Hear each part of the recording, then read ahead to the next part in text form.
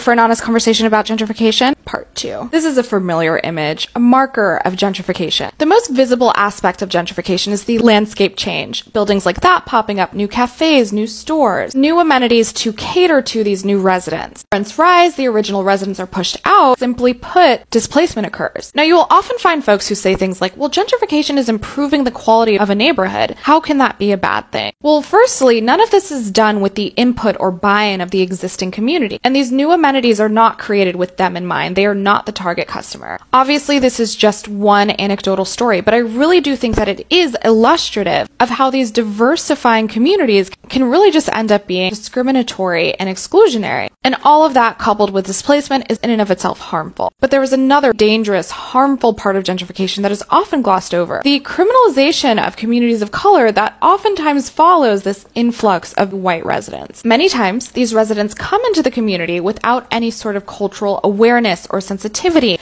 and harbor biases that lead them to get law enforcement involved in quality of life issues. Also, just more broadly, we understand that generally there will be an increased police presence to help those residents feel more safe. And I know I don't have to elaborate here on why that poses a threat. Let's talk solutions. Just as the environment was created for gentrification to flourish through bad racist policies, so too can it be rectified through policy. We need to increase opportunities for black homeownership. We need to preserve the existing affordable housing stock and build new, deeply affordable housing units. We need to drastically expand rent control and involve community stakeholders in the decision making process of what goes on in their neighborhoods. I have included a list of orgs in my bio that are doing this work if you are interested in getting more involved.